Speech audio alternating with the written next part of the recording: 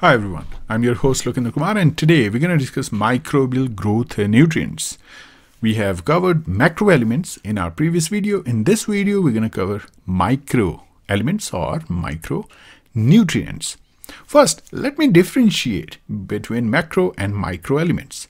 What are macro elements and what are micro elements? As the name indicates, macro means large and micro means smaller. So macronutrients means those are the elements or those are the nutrients which are required in large amount and micro means the nutrients which are required in smaller amounts. So that means micronutrients indicates the elements that are required in smaller amount. And what are those? These are manganese, zinc, cobalt, then you have molybdenum, then nickel and copper. These are some of the important micronutrients which are required by bacteria or microbes. And these are known as micronutrients. So let me write it down. So these are the important micronutrients and I want you to remember that. And they are required they are needed by most of the microbial cells. Now let, let's talk about how these uh, microbes, they fulfill this requirement. Usually microbes fulfill this requirement by, by the source of growth media because they are present in the growth, the growth media as well as in the contaminated glassware that you use to grow the bacteria you can have these compounds present in the smaller quantity and that is good enough for a bacteria to grow. Now I'm showing you, suppose you have the bacterial cell that you're trying to grow and you have this media, in this case, suppose I'm using LB. LB will have a specific concentration of macronutrients, but it will have enough micronutrients so that bacteria can fulfill its requirement. And uh, micronutrients they can also be present in the glassware. That is why i'm i'm saying contaminated contaminated means contaminated by the micronutrients.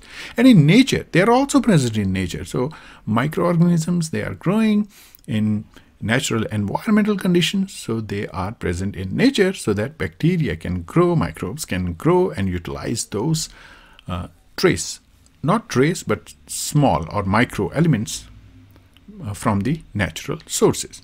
Next, what are the functions? They are important for enzyme activity. They are used as uh, they are present as a cofactor. They stabilize the protein structure, and they also help in the catalysis. And uh, one of the important, I would say, example is zinc.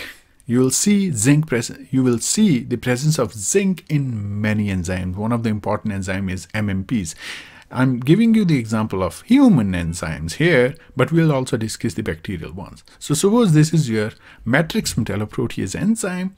It will have the catalytic domain and in the catalytic domain you'll have that specific micronutrient which is zinc in this case and it is important for degrading the substrate and in, in the line you can see the substrate. Now in case of E. coli you have aspartate carbo carbamoyl transferase. So this enzyme is also zinc dependent. So let me write it write it down. So this is the name of the enzyme and it is important. Uh, it is important for the E. coli and it's zinc dependent.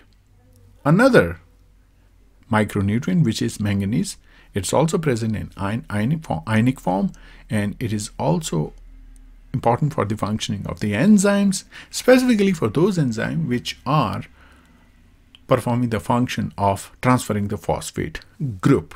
And then the example of uh, molybdenum ion, where you have uh, these uh, particular chemicals used in the process of nitrogen fixation. So they are important in case of the nitrogen fixation. And then you have uh, cobalt, which is important for the vitamin B12. So this was all about the micronutrients. We have discussed macronutrients in our previous video. I would suggest you to watch that video so that you can cover the important macro elements, micro elements for the microbes and this topic will be covered. We will cover more interesting uh, topics in this particular series because this particular series will be focused on uh, microbial nutrition, microbial growth conditions, and we'll, we'll discuss a lot of important and interesting topics. So I want you to stay tuned and watch all those videos so that you can understand the microbiology better.